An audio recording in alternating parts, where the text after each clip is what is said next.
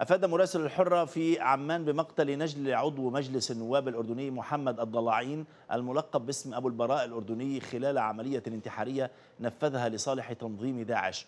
وقال إن النائب مازن الضلاعين لم يرد على محاولات الاتصال به مشيرا إلى أن الهجوم تم بتفجير انتحاري ضد الجيش العراقي في محافظة الأنبار حسب بعض المصادر الصحفية. وأضاف بأن التقارير تشير إلى إقامة بيت عزاء له في محافظة الكرك ببلدة جوزة. يذكر أن محمد الضلاعين كان يدرس الطب في أوكرانيا قبل انضمامه لداعش وتوجهه إلى تركيا ومنها إلى سوريا.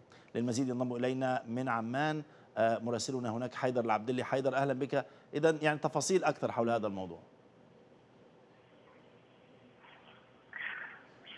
نعم سيد قبل دقائق من الآن تحدثت مع النائب مازن الضلاعين وأكد لنا الخبر خبر مقتل نجده في العراق في وتحديدا في محافظة الانبار حين قام بتنفيذ عملية انتحارية برفقة سوريين في في في إحدى المناطق أو في تحديدا في منطقة الجرايشي شمالي الرمادي التابعة لمحافظة الانبار قبل يومين من الآن.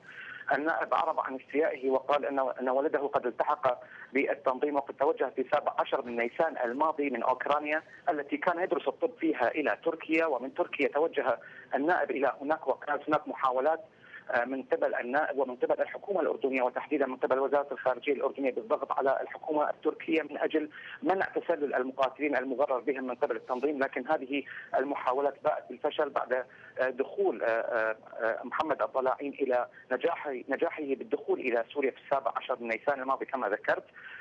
هنا وجه النائب مازن الضلاعين الاتهام إلى الحكومة التركية بتسهيل دخول المقاتلين ورغم أنها تؤكد مرارا وتكرارا على منعها وإحكامها للحدود لكن آه، في هذه اللحظة وجه الاصابع وجه النائب أصابع الاتهام إلى الحكومة التركية التي تفتح الباب للمقاتلين العرب والأجانب المغرر بهم من قبل تنظيم داعش الإرهابي.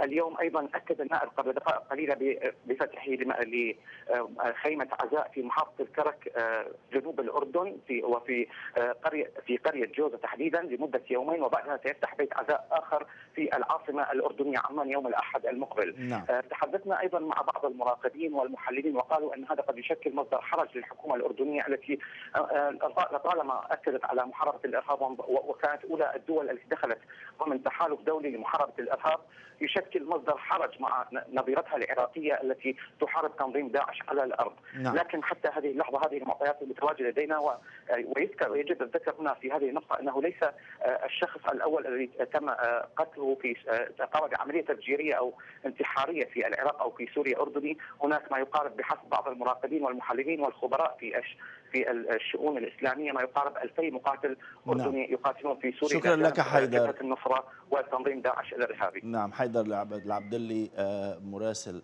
الحرة في عمان شكرا لك